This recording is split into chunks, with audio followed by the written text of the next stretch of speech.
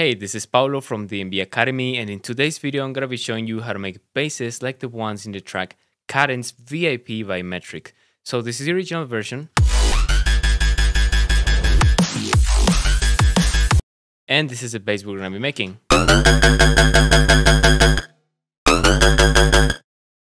But before we get started with the video, make sure you get subscribed to the channel, hit the notification bell to not miss any of our future videos, and if you want to get access to the preset and the project files, you can become a member of Preset Pass. The link is in the description below. So with that being said, let's get into the video. Okay, so here I have an initialized patch, and the first thing we're going to do is to set up our oscillator. So we're going to load a sine wave on oscillator A and a subwave on oscillator B, this way. Very simple sound until now. We're also going to turn on the sub and put it on a square wave. And next we're going to map another fold into the level of all of the oscillators. Make a plucky shape like this. And set its rate. Now let's bring the level of B down. And we're going to be running FM from B.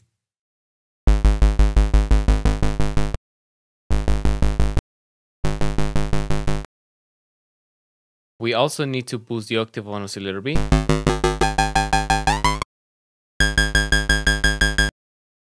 Up to 5 octaves of distance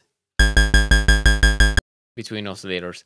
Next we're to go into the effects and we're to turn on the hyper to get some stereo with, we're to add a lot of distortion. There you go. We're to add some chorus, set on high pass, bring the mix down. Cool, so now to get the movement, we need to modulate the pitch bend like this.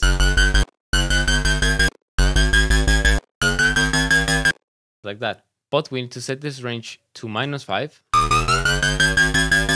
Just like that, and then automate it. So the automation will look something like this. You can always experiment with this.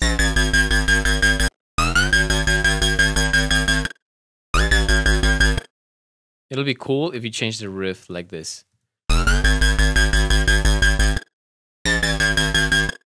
Something like that.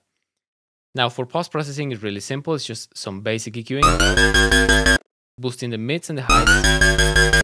And then we have a preset of the chorus of Ableton called Yeoman at 44% dry and wet. There you go. And so this will be layer number one of the bass. Now let's jump into layer number two. Okay, so here I have another initialized patch.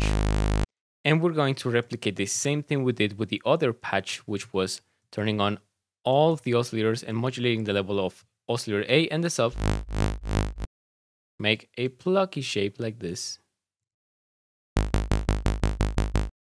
But instead of the other setup, we're going to add a square wave on oscillator A. And we're going to load a complex wave table. It can be any, for example, Monster 5 and Braun FM. One octave up. And experiment with the wavetable position. We're also going to turn on the filter and we're going to map LFO1 into the cutoff. Hold Shift and Alt to change the modulation between bipolar, which will be both ways, and unipolar, only one way. So this will be the plug that we're going to be layering on top of the other bass. Now on the effects, we're going to add hyper and distortion. Bring the mix down on the hyper. Turn on the compressor and set on multiband. Pause the release. And then add a bit of reverb. Now, if you don't want your sound to change, you can bring the random phase all the way down and then set it manually.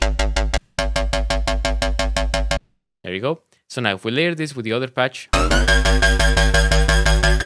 now without it, and with it, now you can always change its texture, for example, change the amount of FM and the octave.